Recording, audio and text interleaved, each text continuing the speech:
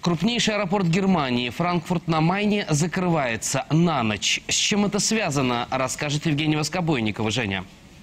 Да, спасибо, Леша. Аэропорт э, во Франкфурте отменяет все ночные рейсы из-за жителей близлежащих населенных пунктов, э, которым просто гул самолетов мешает спать.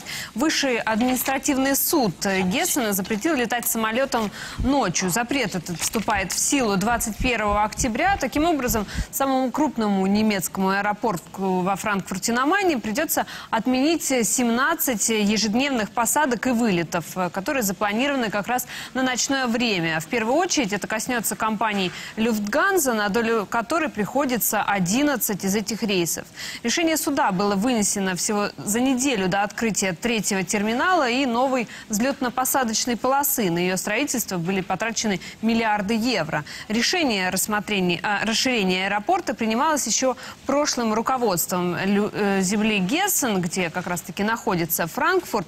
Тогда власти уверяли, что самолеты с 23.00 до 5 утра летать не будут. Но в итоге обещание им выполнить так и не удалось. А за это жители близлежащих населенных пунктов обратились в суд, который впоследствии их и поддержал.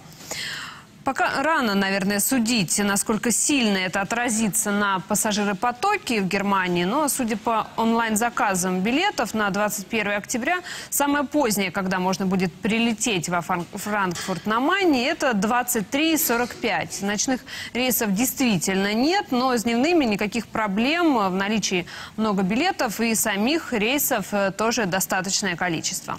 Леша. Евгения Воскобойникова еще